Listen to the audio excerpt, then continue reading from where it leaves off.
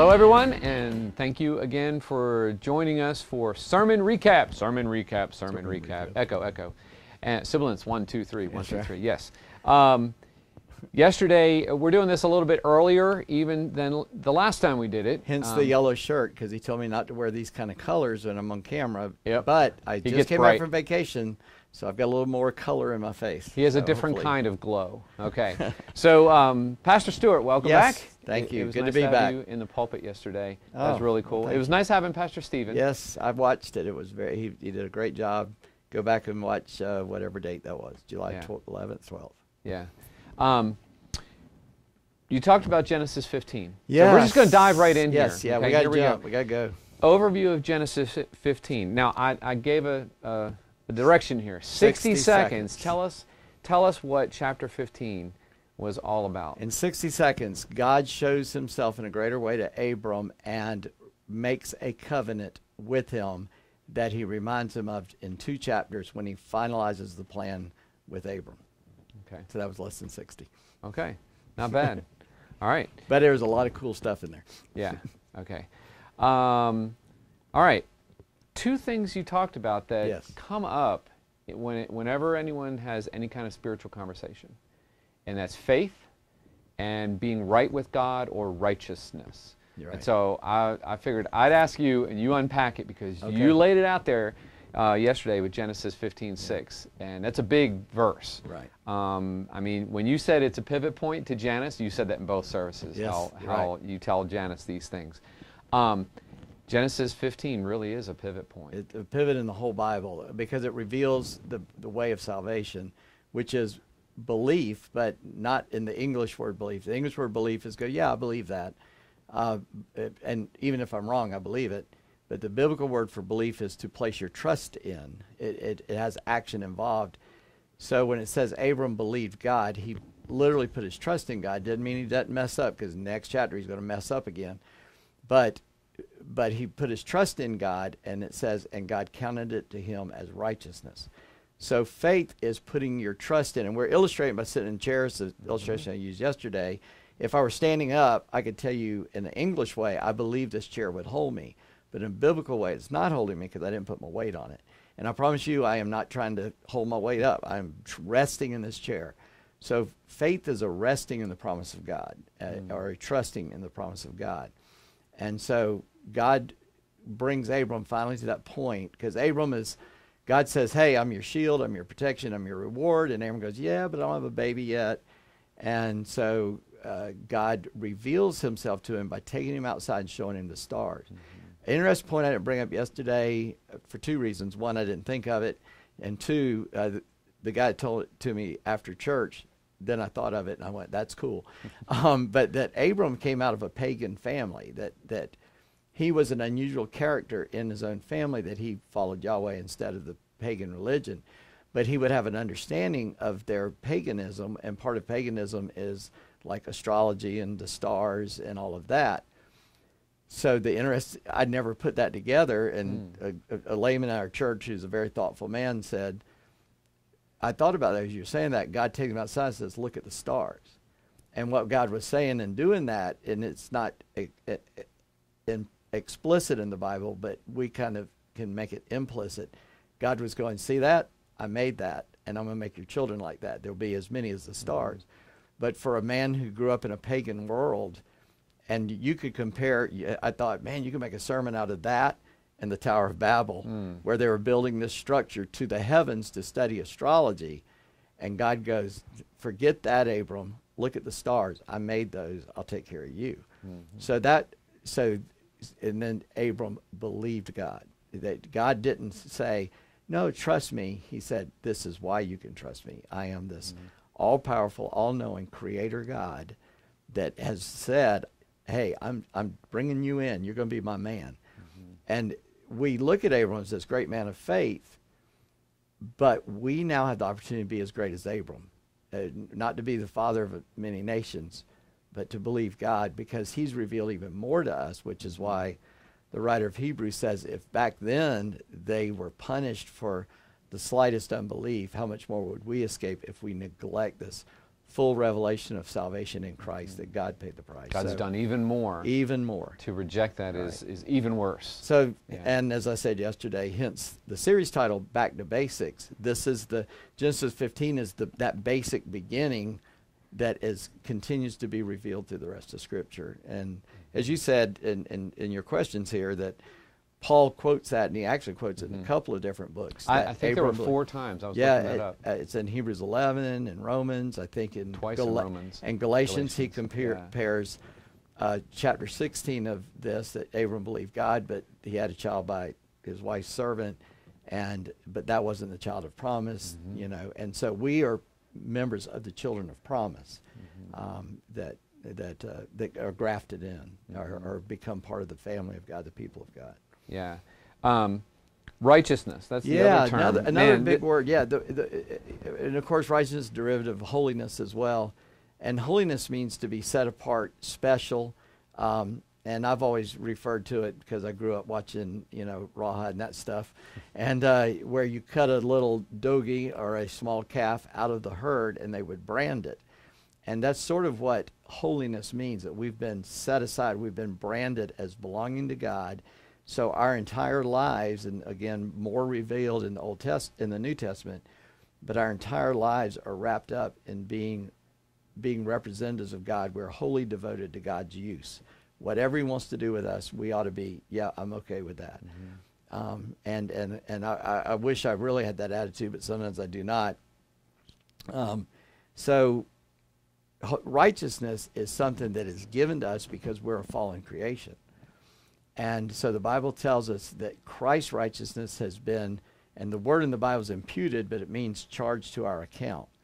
So um, again, just been on vacation and used a credit card for a lot of stuff because we're in a, a, place where that would be a lot more convenient carrying cash. You don't want to get robbed. And uh, and so I ran up a charge. Well, now I owe that money back to that credit card company, which I will pay this month. But um, we owed a debt. My credit card debt got so big I couldn't pay it, and then somebody paid it for me. I didn't pay it, but it was paid, and that's what Jesus did. We had a debt that we couldn't pay, so He paid it, and it's as if we paid it, which is which is uh, uh, well, I'll come back justification. Okay. Mhm. But righteousness is because He paid it, now He owns us. If He paid our debt, He owns us. So when we come in belief, we are bought with the price of His blood, and He gives us His righteousness. He clothes us in it. And the, the Old Testament illustration comes later in David's life. I used this yesterday. Uh, that there were only two suits of armor in the days of King David, and Saul. Uh, Saul had one, and Jonathan had one. David probably got more. And the reason it was only two is they didn't know how to work iron, and the Philis- Philistines did, and so they the Philistines are very stingy with their weapons, because why would you, you know, they they're attacking Israel. Why would you equip them to fight back? But Saul and Jonathan managed to get some armor. So Jonathan, knowing that David had been appointed by God to become king, though he was the heir of the current king, knew that God was changing over to David and loved David so much and said, I will serve you. But, you know, he knew how it worked back then. I'll probably be dead when that happens. He gave his armor to David, mm-hmm. and David put on Jonathan's armor. And Jonathan's request was, Take care of my family if you become king. And David said, Of course. And to seal that covenant, he gave him his armor. So the Bible says, and David, in doing that, it was a symbolic thing, that mm-hmm. covenant relationship he put on Jonathan.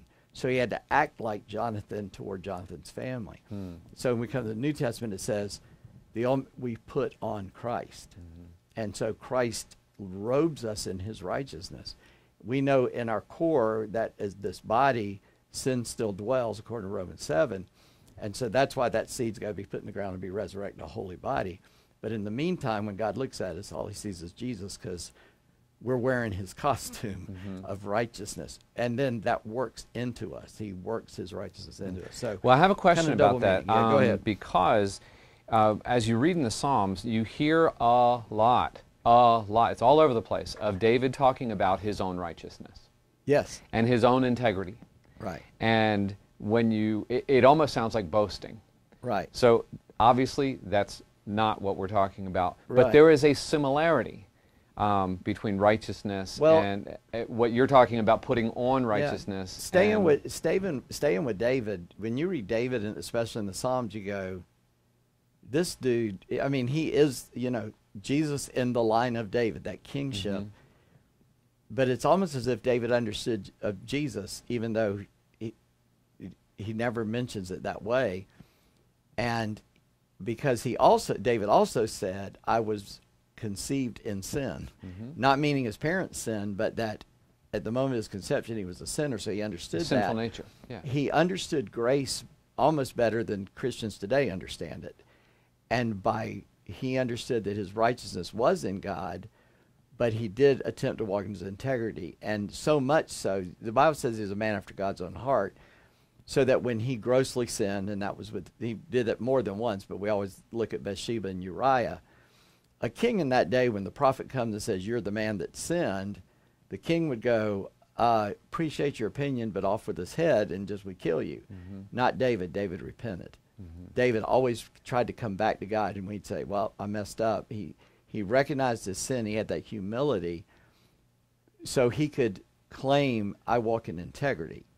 Because even if I mess up, if you show me I messed up and I kind of missed it, I will repent. And he had to do that, you know, two or three big times in the scriptures. Mm-hmm. So yeah, that that righteousness, he wasn't claiming. I don't think he was claiming that he was righteous. It was more that I do everything I can to follow God, and and we ought to be the same way. But Mm-hmm. well, now we- Jesus said, "Be careful of practicing your righteousness before, other men, people." right? Yeah. It's it's a quiet integrity, and, and it's been said that reputation is what people think about you. Integrity is who you are, and your integrity is shown by what you do in private Mm-hmm. when nobody's looking, and and so it, it it is that. Am I faithful to God? Am, do I see myself as set apart to God fully? Because the New Testament says you've been bought with a price, therefore glorify God in your mortal body. But but we also have to realize no, it, Christ's righteousness has been credited to our account. So when we go before the throne of grace, just that it is grace, and it was bought by the by the righteousness of Christ. Um, and and we live in a way that David couldn't live, Mhm. but that already done for us. It, it's it's you will never get to the depths of that. you know, Mhm. it's so Yeah. I, I was I found myself walking both ways of, of this faith and righteousness because it, it feels many times that in the Bible righteousness is uh, what did you call it a quiet what is what was righteousness you said um, um, you, you defined it what is Integrity. righteousness yeah, it's, a quiet integrity Yeah, yeah, just that- you are you're always fully aware that your life belongs to God. And yeah, I don't know what I said. Yeah, that's we'll go back and okay. check take take later. yeah, that's okay. Um, well, it brings us to the end here Yes. and the summary. Now, I got to what does what will it look like kind of question. So, Yeah. what do you what do you, Pastor Stewart, hope to see in people's lives as their faith increases and as their righteousness increases? Yeah, and again, faith is resting in the promises of God. And and But what, does that look what like? What that looks Yeah. like is number one, I am quick to repent. I walk in repentance. I, a, a, a Puritan once said, "I must repent of my repentance." That even in our repenting, we sin, because we are so flawed, we can't even get there. And uh, so that we will be repentant in our lifestyle. In other words, we are constantly understanding that, but then we don't live defeated like, oh, I'm a horrible sinner. We say, but I've been adopted by God. He's given me his righteousness. I have the the legal right, not right as demanding my rights, but God has given me the legal right to approach his throne, not based on my own righteousness, mm-hmm. but on the righteousness of Christ that has been given me, mm-hmm. because my own righteousness is flawed. We also read in one service, I didn't do it in the other, Jeremiah 17, which talks about not trusting yourself. And it says, Our heart is deceitful and desperately wicked. Above all things, who can know it? So we can't trust ourselves, but we can trust God. And if God says we're righteous, then we got to go, Well, you know better than me. So if you say I'm righteous, mm-hmm. I'm going to go with that, even though in my heart I know my own failures and sins and temptations. Um, That sounds like a good so humility. yeah, that. Oh well, let, let me Yeah, round that out. I was going to say so. Walking in that, and then truly trusting God, like for impossible situations. Yesterday, my wife and I, and I'm not going to share this with everybody, but I will share this much. We are now faced with an impossible situation. How will we walk through that? Eventually, everybody will know about it because how can you not? But we will have to walk in, in integrity through very mm-hmm. difficult time uh, in our own lives, mm-hmm. and and um, so where we trust God, we try to follow God as closely as we can, but we have to just trust God that He's going to bring all things to His good, mm-hmm. to His glory and our good eventually. And it may take death in heaven to see that, but trusting God even till death is the, to me, the greatest, not the greatest, but one of the greatest examples in the Bible that I like the most is the three boys that went in the furnace in Daniel, and the king said, "We're going to throw you in the furnace," and uh, and they said, "Okay, our God can save us, but even if our God doesn't, let you better understand this, King. We will not bow to your idol." And so they would bow only to God, even if it cost them their life. And of course, in that story, they get rescued. But now we've got thousands of stories in history of Christians who would not say Caesar is Lord and are thrown to lions or burned at the stake, and they went or hung on a cross and mm-hmm. said, "For the glory of God, I'll do it." And and do we trust God enough that not only will we live for Him, but will we die for Him? And so Paul said, "I die daily." So when he came to his life, he said, "I'm going to be poured out as a drink offering, but I've run the course. I've kept the faith, and I've mm-hmm. I've, I've finished I've finished my course. I've kept the faith, and mm-hmm. I'm ready to go." That's a that's a 35,000 foot uh, view. Bring us down to the yeah. Sorry. bring us down to the six foot view. How's that going to look as we live out faith, the little things? How's it going? What are we going to see more and more, or hear about? So and so did. Boy, so and so is stepping out in faith. Well, how do you know that? Yeah. Well, let me tell you what I. they saw. yeah they Yeah. that they they have done things they have followed god even if it hurt them and that that there's a daily dependence on god that is evidenced by if i'm going to depend on god daily i ought to know what he says daily. I ought to pray to him daily. I ought to trust him in my finances by giving uh, to the church as i should and using the leftover in a, in a, a way of integrity and, and helping others and doing things. The, the it, it's not spectacular, and that's, um, you know, there there are times there are people in individual situations where it is spectacular, but the real work of Christianity is is seen in just the drudgery of everyday following God, and it's not a drudgery, but it, you know, uh, one author and preacher that I like is Vance Havner, and he wrote a, a sermon. He talked about as a kind of a devotional thought of that God sometimes reveals Himself says some days he stamps i'll explain this one later but our christianity is seen just living through gray days where we don't have the light of revelation neither are we in the depths. It's just you know sort of like the, the other illustration of that is um, i cannot remember every meal i've ever eaten but the fact that i'm here and healthy tells you i've been eating meals regularly that we have to be walking with god daily and regularly and then we look back and go oh i've grown. Um, and, and so to trust God, to believe in God, is to not not let anxiety get the best of you. Perfect love casts out fear. Um, anxiety is going to come. It is not not going to come, but to not give into that fear, not to walk in that fear, but to walk in faith and to, to believe the gospel that that this is what I was, but now this is what I am, and those don't look alike. I, I have observed this now. I'm- We're going. To, we were going to do it short, and I could have shut up, but I'm not going to. um, I, the the president of the seminary that I went to um, was talking one day, and what he said was a revelation to me, and I went, "Oh, now I get it." He said that he in, is the most uptight guy he knew.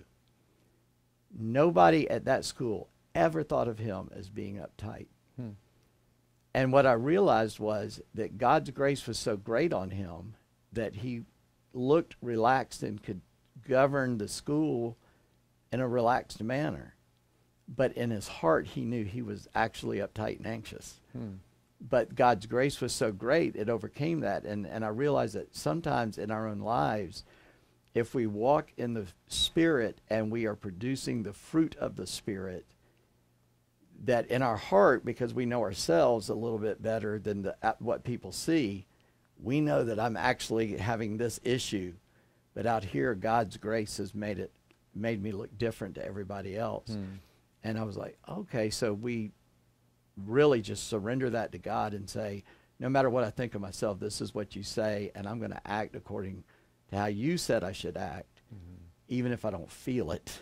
Mm-hmm. And and we may never understand how much God's grace has worked in our life until we get to heaven. I, mm-hmm. I sincerely believe that uh, that that God's grace overcomes things, and we're not even necessarily aware of it. As, as, a kid, you don't feel that you're growing, but if you see your grandma once a year and she goes, "Oh, you've grown so much," that that's going to be kind of a self revelation in heaven. The guys go, "Are you kidding? Look, I brought you from there to there," and you go, "Wow, mm. didn't notice that." Mm-hmm. You know, it, it, we don't see ourselves as easily as other people around us see us, mm-hmm. and God sees us perfectly. So, mm. okay. now I'm now I'm just rambling. Okay, all right. Well, that uh, brings it to a close of our sermon recap. Yes. Um, let us know what you think. Give us some yes, thoughts and do. send in questions, that kind of stuff. And if and you have questions, send them in. I never thought to say that before. Yeah, yeah, send them in. Uh, however you like, you can do uh, a honeycut at cbcstaunton.org or however you like. You can text me, that'd be cool too. So uh, God bless yep. you and thanks for tuning in. See ya. See ya.